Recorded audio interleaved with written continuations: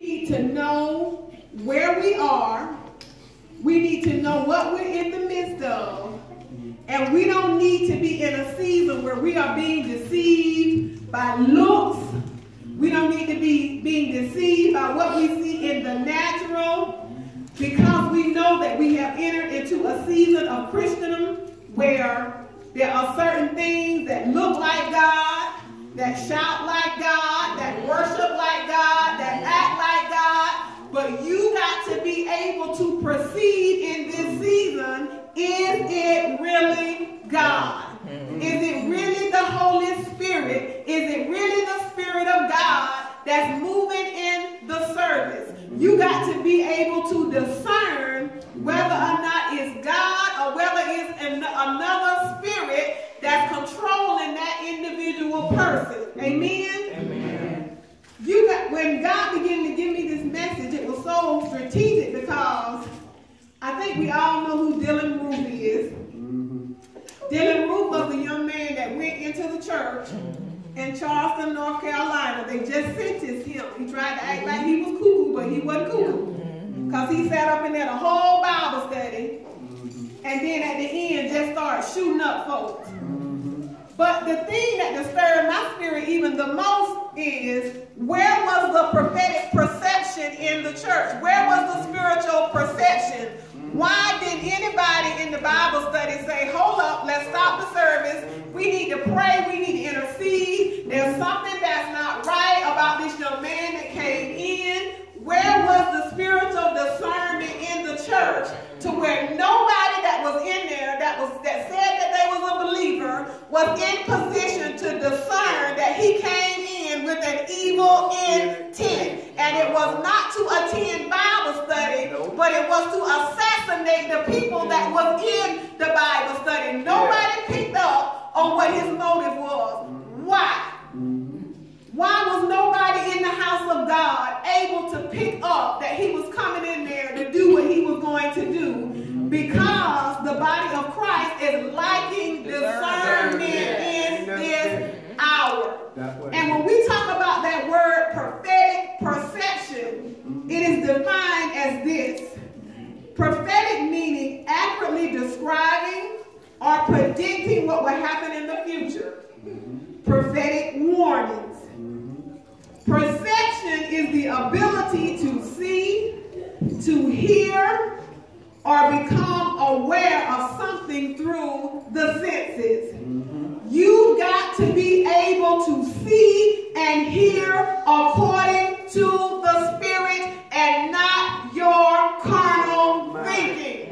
It's going to have to be by way of the Spirit. And I just believe that if the power of God was moving in that place and the Spirit of God was being manifested in that place, when Dylann Roof walked through that church, the Spirit of the Lord should have manifested him, should have should have arrested him. It should have been manifested in the place so where it would have arrested his spirit, where even he wouldn't even be able to go through with the plans that he came in there with because the anointing of God was so heavy in the place that when they, he walked in, there should have been some watchmen that right. were in place right. that was able to discern the, uh, the intent of his heart. Right. But nobody was in position to do it. Right. There are three ways in the Bible by which we learn how to see. Mm-hmm. And today I'm going to teach you how to see deeper in the spirit so that you can discern and perceive what's in your perimeters. Mm-hmm. And I'm not just talking about church. Right. I'm talking about you in the grocery store. If somebody in front of you is suicidal and they just buying groceries, you need to be able to perceive what you're in the midst of. You need to be able to discern your household. You need to be able to discern on your job. You need to be able to discern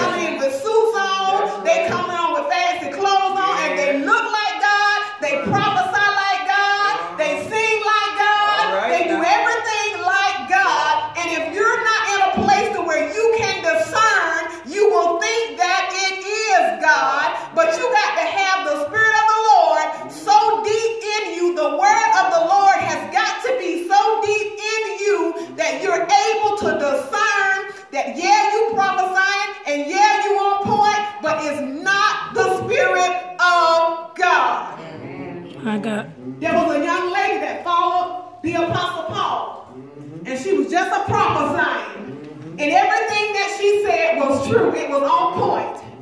And the Apostle Paul waited. And that lets me know that yes, there is an appointed time before you say something. He let that girl follow them around for two or three days. That's right. And then finally he said, Yeah, you you you prophesying truth. You telling me the truth. But you're doing it in the spirit of divination. It's not the spirit of God. And when somebody is prophesying in your life and they're getting information from anything other than the Holy Spirit, they are prophesying and releasing curses over your life. If you receive the prophetic word from a witch, from a warlock, from divination, from somebody that's practicing in voodoo and hoodoo, you're not, you're, just like when I prophesy into your life from the Spirit of God, something is supposed to take place. It's supposed to create something in your life. Yeah. When somebody prophesying in your life and they're dealing with divination, mm-hmm. they begin to, the curses begin to manifest in your life. Instead of the blessings that's intended when the prophet prophesies over you, there's a curse that's attached to your life when you receive the prophetic word from witches and warlocks. Mm-hmm. And we know that witches and warlocks ain't nothing but prophets and prophetesses that have sold out to the devil and they're using their prophetic gift right. to get money. That's they're using their prophetic gift to deceive people. They have an original gift, but they have tapped into another realm and it's not of God. Amen. Now the first thing to identify the fake from the real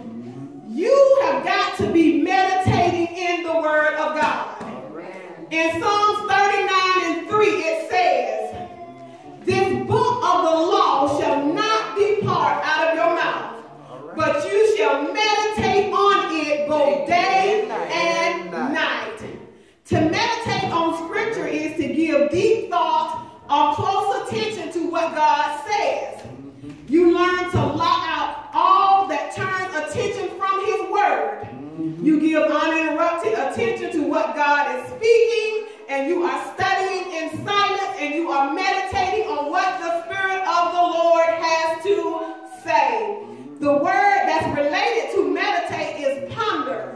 And pondering involves testing, it involves measuring and weighing. You got to be able to test, measure, and weigh the individual that's standing up before you that's preaching and teaching the word of God. And you got to test it according to what the word of the Lord says. And that's why you got to meditate on the scriptures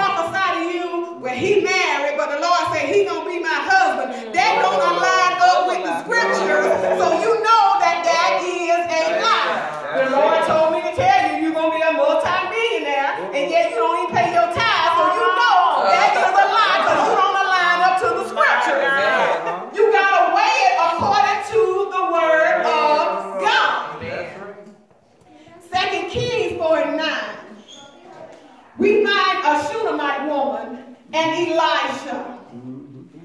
And the Shunammite woman said to her husband, she said, Behold now, I perceive that this man is a holy man of God, passing by us continually. Now, she never met Elijah. That's right. Only seen the man passing by. So how